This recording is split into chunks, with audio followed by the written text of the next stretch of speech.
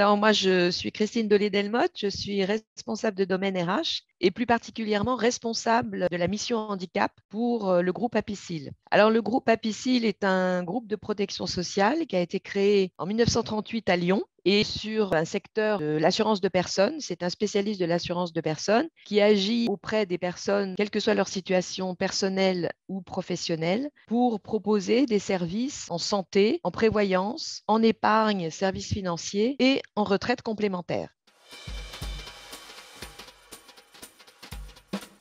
Alors, c'est vrai que Apicil euh, agit déjà depuis longtemps sur le terrain du handicap et a développé ces derniers mois et ces dernières années une politique de diversité dans laquelle le handicap, évidemment, est un thème essentiel. Et nous sommes euh, évidemment en recherche d'outils et de, supports de communication, d'échange, de partage. Donc, il nous a semblé que le réseau activateur de progrès qui est porté par euh, l'AGFIP nous permettait justement de pouvoir agir sur ce terrain et ça nous permet comme ça non seulement de nous professionnaliser sur le sujet, mais aussi de pouvoir donner de la visibilité euh, à l'extérieur sur notre groupe et, sa politique.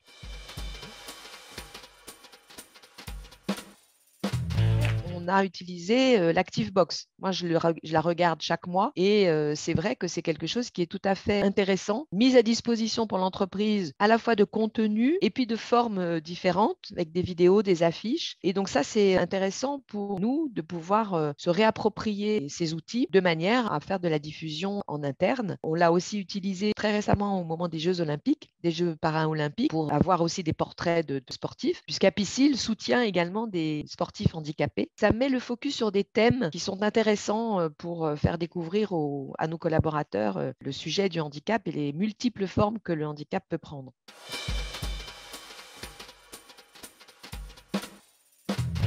À l'externe, notre politique de communication s'appuie sur un plan stratégique qui a mis à l'honneur et qui a mis en, thème essentiel l'inclusion. Pour cela, on communique à travers, bien sûr, nos plaquettes institutionnelles, les films que l'on peut diffuser sur euh, les, réseaux sociaux et dans la presse, hein, avec des méthodes classiques de presse. On a toute la politique RSE qui s'appuie évidemment sur ce domaine stratégique qui est l'inclusion. On vient d'avoir le label diversité et égalité des chances. Donc, on utilise évidemment tous les réseaux possibles de communication pour montrer effectivement ce que Apicil a pu mettre en œuvre au niveau de sa politique d'inclusion et de RSE.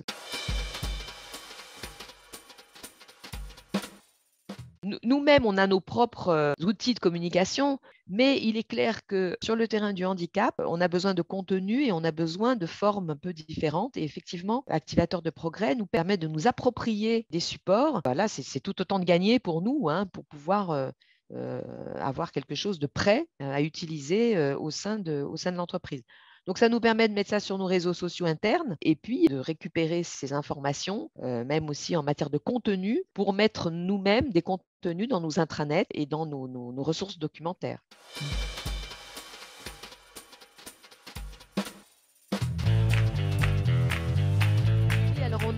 On, avait lancé il y a quelques années déjà une initiative qui permettait d'accueillir des salariés en reconversion professionnelle par le biais de, des contrats en alternance, des salariés qui étaient aussi en situation de handicap. Et donc, on avait mené ce projet avec un organisme de formation. On a renouvelé ce projet en 2019 avec l'IGS sur des postes de chargé de clientèle doublé d'une capacité en assurance. C'est là où nous avons des besoins hein, de personnel. Et on s'est aperçu à cette occasion, en faisant le retour d'expérience, en interviewant euh, des managers, en interviewant aussi les collaborateurs euh, qui ont fait un passage chez nous. On en a quand même embauché deux en CDI et, deux en CDD, hein, c'est cet ordre de grandeur, que finalement on avait beaucoup appris dans le contact, dans la relation, dans le regard aussi que pouvaient avoir les collaborateurs avec les personnes en situation de handicap. Que finalement il y avait eu beaucoup d'entraide, beaucoup de solidarité, beaucoup d'écoute de la part des managers qui n'étaient peut-être pas convaincus au départ, parce que quand on propose à des managers de leur donner des ressources pour leur poste à pourvoir et que ces ressources sont des personnes en situation de handicap, il y a parfois un petit peu de réticence. Mais on, a, on a joué le jeu, les managers ont joué le jeu, et même si quelquefois il y a eu des difficultés, il ne faut pas se voiler la face, passe. C'est pas toujours un chemin aisé. les managers ont souhaité renouveler l'expérience lorsque nous avons renouvelé l'opération en 2021. Donc voilà quelque chose qui nous a montré que finalement le handicap n'est pas un obstacle et que quand on sait l'intégrer, quand on sait gérer ces situations particulières, eh bien c'est tout bénéfice pour l'entreprise et pour les collaborateurs, bien évidemment. J'invite les entreprises à découvrir et à devenir activateurs de progrès en faveur de la diversité et du handicap.